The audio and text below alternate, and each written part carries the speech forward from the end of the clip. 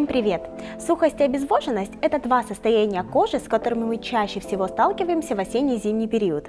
Но многие девушки путают эти понятия, неправильно определяя потребность своей кожи, но, как следствие, неверно подбирают уход. Сегодня я помогу вам разобраться, чем отличается сухость от обезвоженности и какие средства добавить в свой уход, чтобы справиться с этой проблемой и кожа была здоровой и сияющей.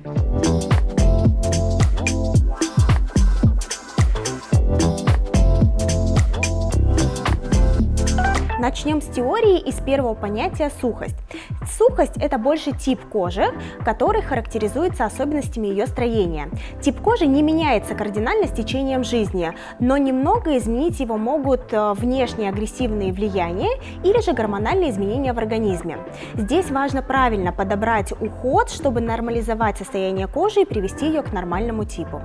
Определить, что ваша кожа именно сухая, можно по следующим признакам. Она тонкая, а, без жирного блеска и расширенных пор, а, при этом а, более выражены мелкие мимические морщинки и часто возникает ощущение стянутости и шелушения. Как правило, сухость возникает от недостатка естественных э, жиров кожи, то есть липидов. А отличными помощниками в их восполнении станут э, такие компоненты, как растительные масла, жиры или, например, керамиды. Они восстанавливают липидный барьер кожи и устраняют шелушение. Также мы рекомендуем для устранения сухости выбирать кремы с питательными и более плотными текстурами и избегать агрессивных спиртов в составе уходовых средств. И второе понятие – обезвоженность. Это временное состояние кожи, которое можно и нужно устранить. Обезвоженность означает, что в вашей коже на дермальном уровне не хватает естественной влаги. Обусловлено это может быть рядом факторов, например, в целом обезвоживание организма, то есть недостаток воды, а, злоупотребление алкоголем или же сухой воздух в помещении или воздействие ультрафиолета. Обезвоженная кожа характеризуется сниженным тургором, вялостью и дряблостью, а, тусклым тоном лица и более глубокими выраженными морщинами. Стоит отметить, что обезвоженной может быть кожа любого типа, от сухого до жирного, но проявляется у разных типов кожи обезвоженность по-разному. Например, жирная кожа реагирует на недостаток влаги в дерме более интенсивным салоотделением, то есть э, жирная кожа начинает блестеть еще больше, а сухая становится более чувствительной, тонкой, раздраженной и появляется больше шелушений. Спровоцировать дегидратацию, то есть обезвоживание, может целый ряд факторов. Первое – это возраст. Так как после 25 лет наша кожа начинает менее активно вырабатывать естественную гиалуроновую кислоту, а, появляется как раз то самое чувство обезвоженности. Второй фактор – это холодное время года. А именно негативное воздействие на нашу кожу оказывают э, минусовые температуры, холодный воздух и сухой воздух в помещениях. Третий фактор – это неверно подобранный уход или слишком агрессивные очищающие средства. И четвертый, последний фактор – это общее обезвоживание организма, поэтому пейте больше воды. Что же касается компонентов, которые содержатся в составе уходовых средств, то для решения проблем обезвоженности я рекомендую искать гиалуроновую кислоту, аминокислоты, экстракты морских водорослей а, или бета-глюкан.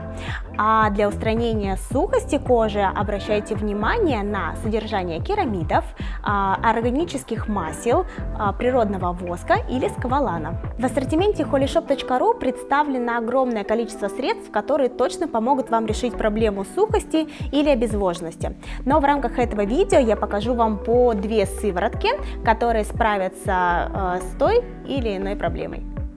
Чтобы восстановить влагу в дерме и устранить обезвоженность, добавьте в свой уход сыворотку для глубокого увлажнения кожи с гиалуроновой кислотой от Cosrx. Комплекс из трех видов гиалуроновой кислоты и провитамина В5 восполняют недостаток влаги и устраняют обезвоженность, возвращая коже свежесть и естественный тонус.